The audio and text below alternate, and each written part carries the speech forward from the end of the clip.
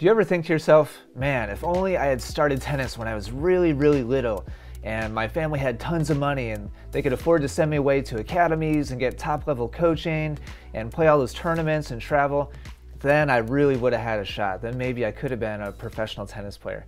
I used to have those thoughts when I was in high school, and it wasn't until after college when I started getting a little bit more perspective from players that were trying to go pro and I started to realize exactly how hard it is. And a video that I saw just recently is a, a perfect example of that, and I wanted to share it with you. It's called Road to One ATP Points. Rankings are based on points in the WTA and the ATP, and the Tennis Brothers is an amazing tennis channel. And this video was just up uploaded a couple days ago, and it's perfect insight into what it takes to try to make it and even just start to make it.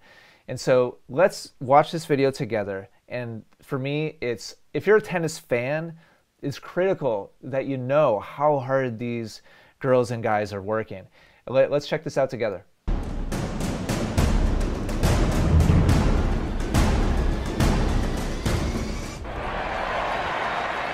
Ever since I started playing tennis at the age of 7, I had the dream to become a professional tennis player and make a living out of tennis.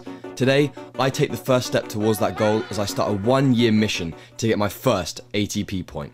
Every Sunday for the rest of the year, I'm going to be documenting my journey and sharing it with you guys as I train, learn, and compete to gain my first professional point.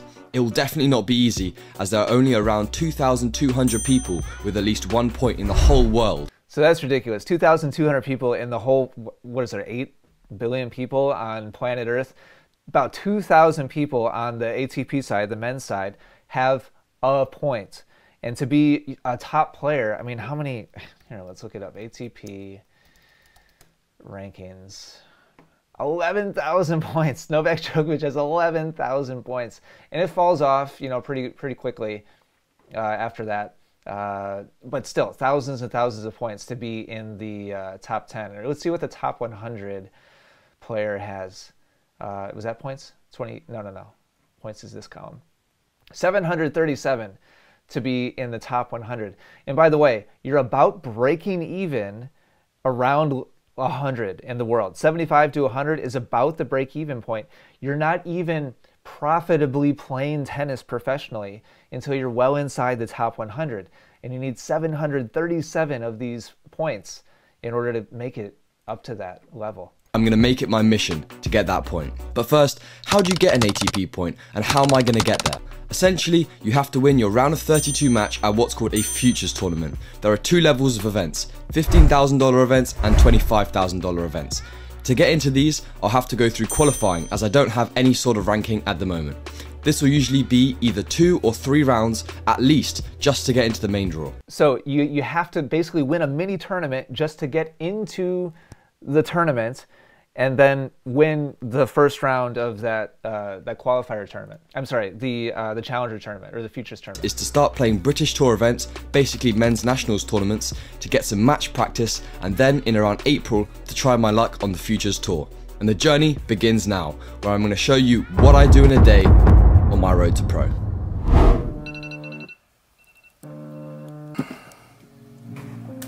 It's so early.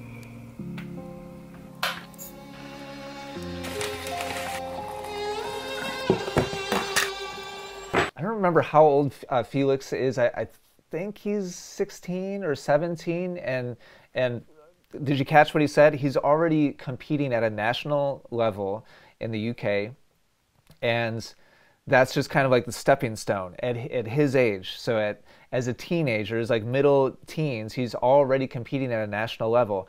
Uh, I get asked constantly in the in the comments on uh, YouTube. Oh, Ian, I'm XYZ age. I live in X, uh, ABC country. Can I can I go pro?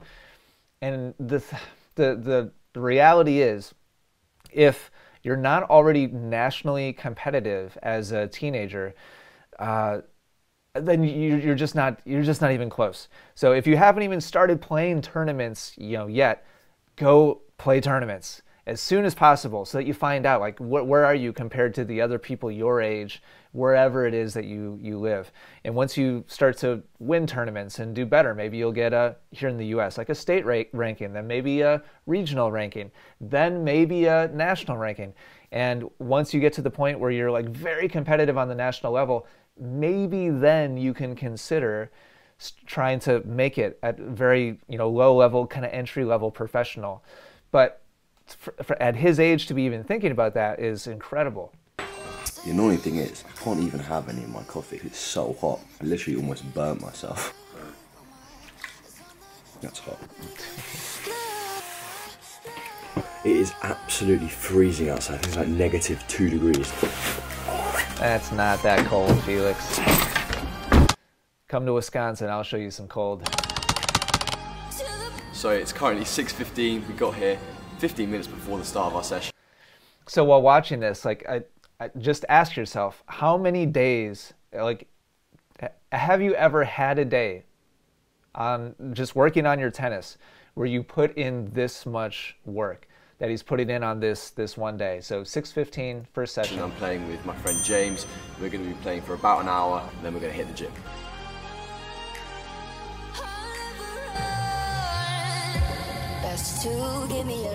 Boy, Even young uh, whippersnapper doing the, the warm up. I love it. Taking good care of the body. How many of us do this? How many of us do, how many of us do short court and you know, warm up the body ahead of time?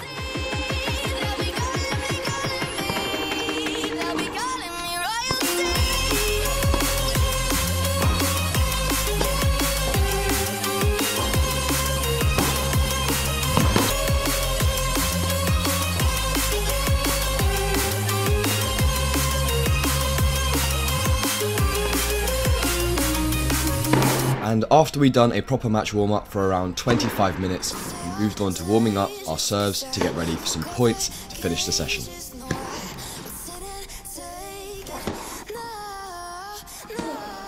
This is basically just to start of the day off. You know, get in your reps, get some rhythm, get some timing, get a little bit of point play in. And so uh, uh this would be obviously like the main training session for most of us, you know, normal tennis players and and Felix is viewing this as just kind of like the get the get the day started, you know, kind of warm up session.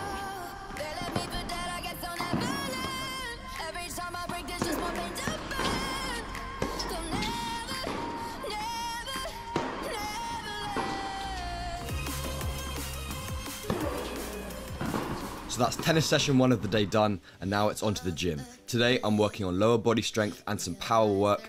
I'll talk in more detail in future videos about specifically what I'm doing in my strength and conditioning program, but for now, enjoy this gym montage. So now, after his on-court training session, he's in the gym doing another training session. Again, like I don't, I don't know about you, but even when I was in college, uh, to do either one of those things it was like a work day, right? You go on court and do a training session or go to the gym and do a training session. Even in college, you know, D2, whatever, top 30, you know, ranked uh, D2 school, wasn't really often that I was on the court and then would also go in the gym. Sometimes I would. Oh, oh my god, I'm dead. Alright, gym session done. Let's go get some food. But first, I decided to have a cold shower. These helped me to wake up and feel energized for the rest of the day, especially because I had to wake up so early. So my snack Hardcore. after a workout consisted of a protein bar, a chicken and rice bowl, and a electrolyte drink. So at the moment, my aim is to build muscles so I can get stronger and hit the ball harder. This means I have to eat more calories than I burn. I'll try to do this by eating healthy foods throughout the day to help fuel me up for my sessions, and I'll talk more about nutrition and specific. That's underrated, by the way. At his age, his metabolism, working as hard as he is, to, I, I, he's got to be consuming a ton of calories to have any chance at all of putting on uh, some muscle and some mass. I, just the, the fact just eating enough to like keep up with his activity level is is a lot of work. Typically what I eat as a tennis player later on in future videos. But now back to my day. When I got home, I made lunch and then got to work. This is where I'll plan for upcoming and current videos like the one you're watching right now. So just to show you guys how long editing actually takes, I'm going to be editing this video for one whole hour and we're going to check back up in one hour to see how far I've got. Editing hustle.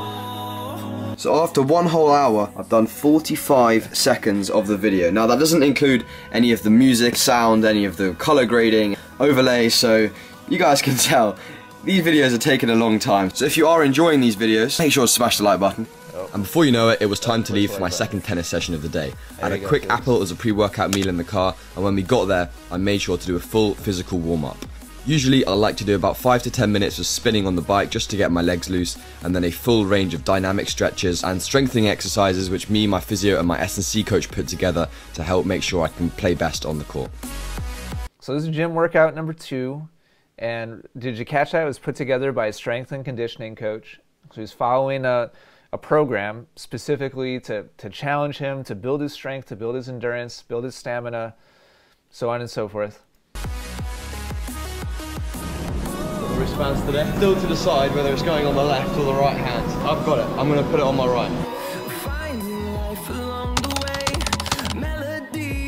So 4.30 in the afternoon, he's going back out on the court again. Today's tennis session, we warmed up by just hitting through the middle, trying to find some good depth and some good rhythm. We then moved on to a drill where you have to feed cross, hit a high ball line, and then the points open, basically working on the defensive positioning and how well you can neutralize in the defensive position. We then also did that on the backhand side, then finished the session with some points. We played a short set to four.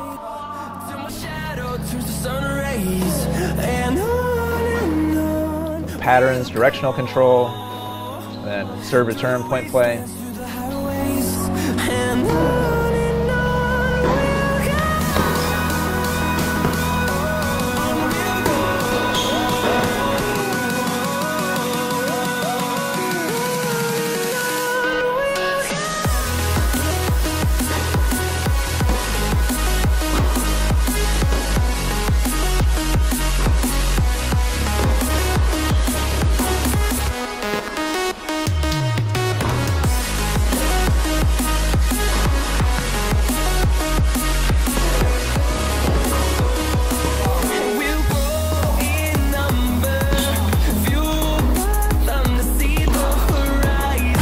The end of the session, we had a fun game of Super Bluff. We basically played touch between all four of us. This is a great way just to end the session and have a bit of fun to finish.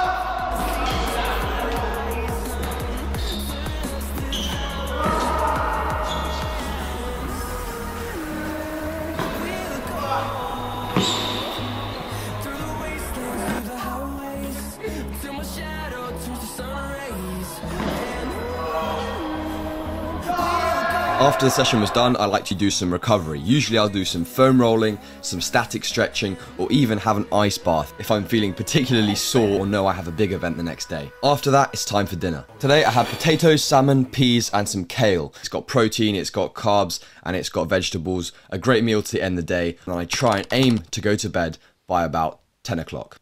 I would also love it if you guys join this journey over the year and subscribe to the channel. Like I said, I'll be posting weekly Road to One content every Sunday at 2 p.m. So you should you should subscribe. I mean, this content's amazing, and I just I love the insight. Did, did you catch his schedule?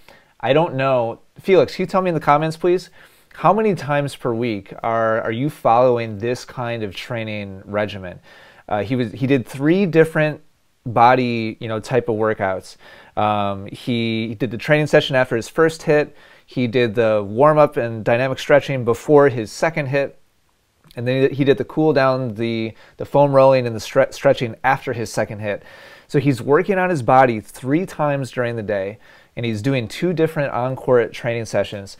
And I, again, for me personally, like I, I just kind of naively when I was younger was like, oh man, I could have could have been so much. Maybe I could have been pro when I watch players like Felix, who's a way better athlete than I, he's a way better athlete than I am.